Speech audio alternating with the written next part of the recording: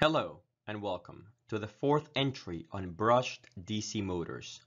My name is Pedro Arango Ramirez and today we will discuss PWM frequencies and the different interfaces you can use to drive a brushed DC motor. These include phase-enabled, independent half-bridge control, and pure PWM interface.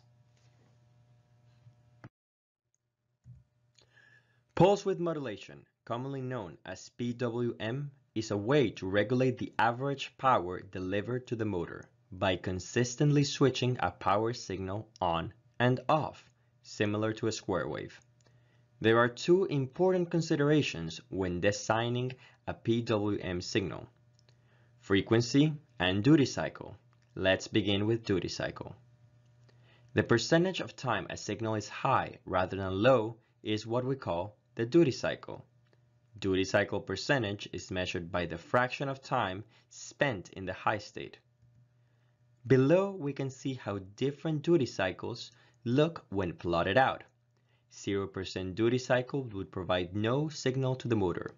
As we go down, we can see how the duty cycle corresponds with the period of time spent on up to 100% duty cycle, which would be a consistent signal.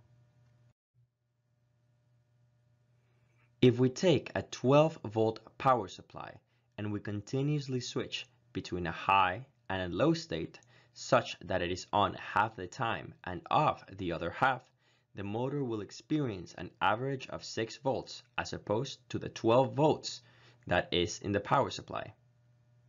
In the previous example, we had a 12 volt PWM signal with a 50% duty cycle. However, applying a PWM directly to the power source is not always feasible efficient, or convenient. Therefore, we will instead use PWM signal to control the FETs that drive the H-bridge. This way, we can keep the voltage VM high and consistent. An important thing to note is that the speed and intensity at which a brush DC motor spins is directly related to the duty cycle and voltage at VM, and not to the frequency in which the PWM switches from high to low. Given everything else stays constant, a higher duty cycle will make a motor spin faster than a lower duty cycle. The intensity at which a brush DC motor spins is directly related to the duty cycle and voltage at VM, and again, not to the frequency in which the PWM switches from high to low. There are, however, considerations to be had when choosing an ideal PWM switching frequency. These are stability, switching losses, and audible noise. Let's begin with stability. If the switching frequency is too low, the motor will experience a voltage ripple. As a rule of thumb, you want the frequency of your PWM signal to be greater than 5 over 2 pi tau, where tau is the electrical time constant for your desired motor. If you go too high, however, the transistors inside of your driver may experience thermal limitations due to switching losses.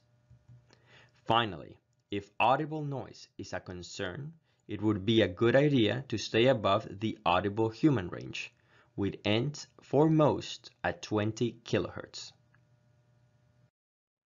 No matter which interface is used, understanding the concept of pulse width modulation is essential to successfully driving a brush DC motor, as all three will employ PWM signals to drive their loads.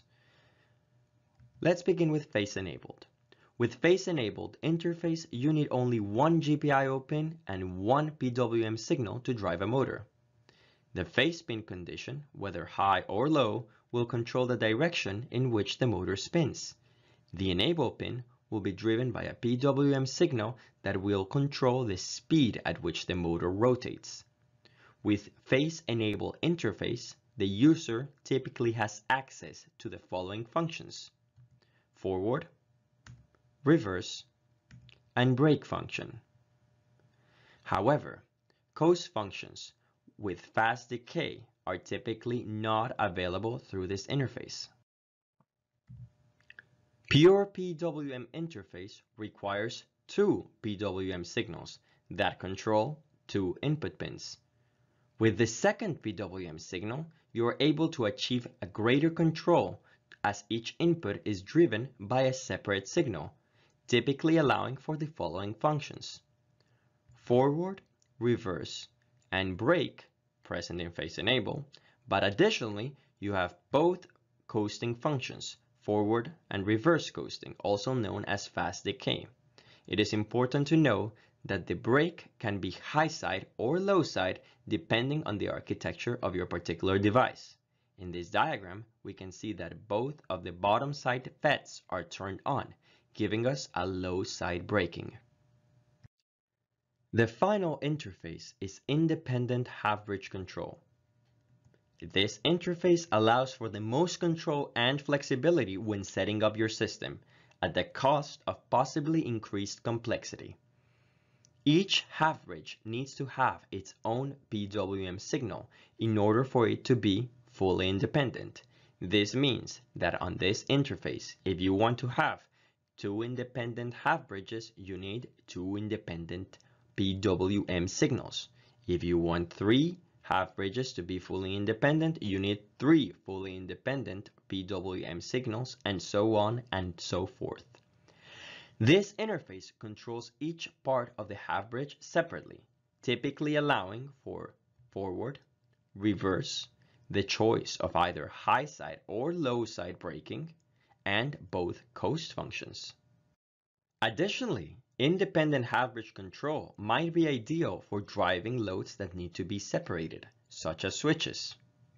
It can also be used for more creative and complex configurations.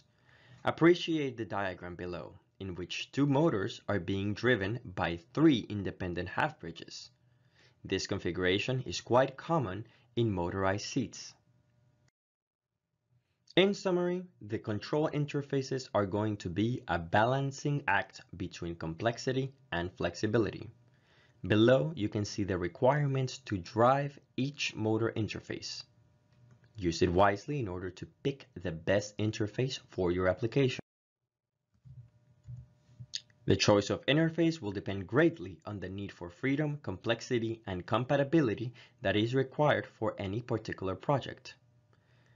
In this slide, we can see that the DRV8220 offers two different interfaces, whether phase-enabled or PWM.